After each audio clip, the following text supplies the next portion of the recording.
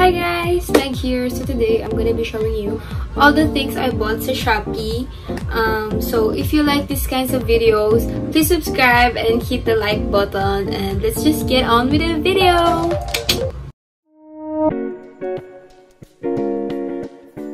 Ang una kong binili sa Shopee is this Christian Dior bag.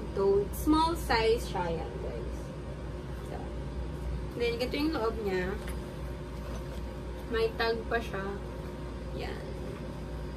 Super cute niya. Nalagay ko na lang yung price and this and yung shop gusto ko siya nabili. So, the second thing I bought sa Shopee is this one. This card holder slash wallet. For me, card holder and wallet ko siya. Yan, yan lang. 79 pesos yata to 56. So, second thing I bought, third thing I bought sa Shopee is itong wallet. Yan. LV siya. Alam ko 500 pesos to yun siya. Usong-uso to, guys. Pag nag-search kayo sa sa Shopee, tapos sabihin nyo, LV, LV trifold wallet. Ganito lalabas sa iba't ibang kulay. Just choose the red one. Yan. Yung tsura niya. And then, the next one is this card holder. Yan, ganyan. Maganda yung quality niya. Same shop lang siya, guys, ah. And then, this one, yan, very pretty, very nice. So, same shop lang yan, guys. Yung tatlong pinakita kong LV.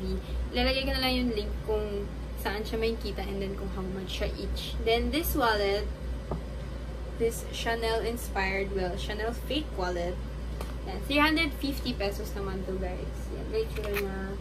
May coin slot siya and then cash slot. The next one is this cute transparent wallet. Yes. yes, yan din siya.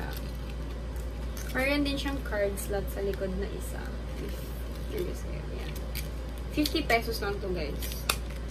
Then the next thing I got sa Shopee is this cute, cute Hermes bag. Um, Kelly Ado backpack siya. Small lang siya guys. Yan. 1,200 pesos siya. Ito siya buksan. And, yan, ganyan. Ito yung loob niya, guys. Yan, ganyan. And then, may free, free, syempre, kasama na talaga to. Lock, and then yung keys niya. Nagana naman. Chanan! Yan. So, yeah, it's really nice. It's pretty. I like it. Nakikita ko siya kay Heart Evangelista. Alam niyo yung mga very fashionista na girls here sa YouTube. Sobrang idol ko sila. Naingit ako. Sana nakaka-afford din ako ng original Hermes. But, dito muna tayo sa fake. Sa Shopee muna tayo. Tsaka na tayo mag-buy ng mga super mahal. So, the next thing I got is this cute crop top that says Angel in white. Duh! Yan. Ah, medyo madami na siya. But, it's really nice. Parang, spandex yata yung tela nito. Pero yun, sobrang maganda yung tela niya. Hindi kapag papawisan. Same shop is this cute rib crop top na may tali. Yan. Papakita ko lang sa inyo yung parang inspired pictures niya. Para you have an idea kung ano yung tsura niya. Yan. There you go. Next thing is this. Puro crop top siya, guys. Next thing is this cute yellow crop top na may pink linings here. Yan, ganyan siya. It says, You were never my boyfriend. Yan, dumi na nga eh. ganyan siya sa likod. It's so nice. Then last one is this cute, um, what do you call this thing? Ano tawag dito? Sando? Sando crop top na red. So, mukha siya, pwede siyang pang swimming, guys. Kasi yung tela niya, yung shiny, shiny. I don't know what that's called, but yun nga. Stretchable din siya. Next thing I got so, is this cute lingerie nightgown. Yes. Ganyan siya. Ayan yung ano niya. Tsura niya. 99 pesos lang yata itong 89 pesos. Very nice. I got this also in red and in blue. Guys, yeah. Silk siya. Super nice. And very affordable siya, guys. So, yung next na binili ko is cropped cardigan, guys.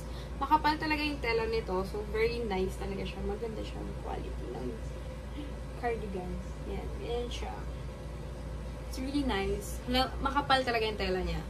Then, sa same shop niyan, I got this baggy um, sweatpants.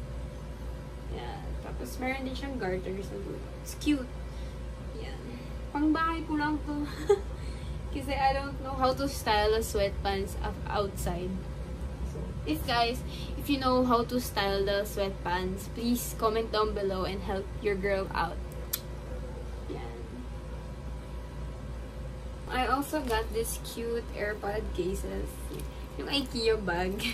yeah, para sa AirPods ko. Ito naman, binili ito ng friend ko. Christmas gift niya sa akin. Yeah, cute AirPods case. And then ito, bili naman to sa akin ng boyfriend ko. Cute Celine bag. Ganito siya. Wait lang. Yan. Ganyan siya. So, ganyan siya pag i-open. So nice. Tapos, I also bought this cute keychain. May maingay na ganyan. Gusto ko lang. Pero hindi ko siya ginagamit ngayon. Pero gusto ko lang. Yan. And then, I also got this one. Yes. So cute. Ay, tumutunog pala din siya. So, yan. Bumili rin ako nung pajama set ng BT21. Si RJ yun. If alam nyo man, if addict mo kayo sa BTS. Um, nalagay ko na lang yung picture dito sa gilid. Yan. 500 ko yata siya nabili. Kasama yung mga Babinski um, coffee nila. Ayan din yung itsura ng Babinski, Babinski coffee nila. Um, yun. So, the last thing I got is this Twilly type na with fur ball siya. Yan, ganyan. And then, itong yung sa bag holder ko, may twilly siya, dalawa. Ayun, so guys, tapos na yung Shopee haul ko. Um, if you want more videos like this, please subscribe and hit the like button. And I hope you enjoy this video. Yun lang guys. Thank you for watching. Bye-bye!